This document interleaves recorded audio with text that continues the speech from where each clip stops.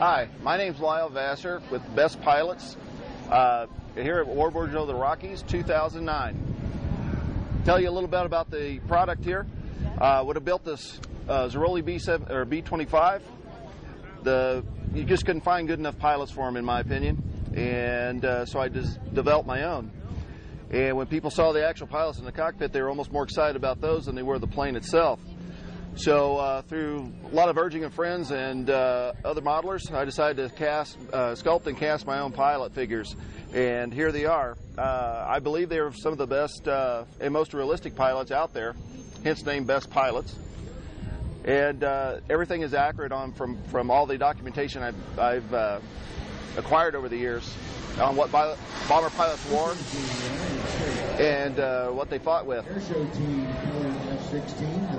Everything down from the uh, the soles of the shoes to uh, the headphones and the uh, flight gear is all accurate, and they can be posed in any position. These are the full scale figures, and we also have bus pilots as well.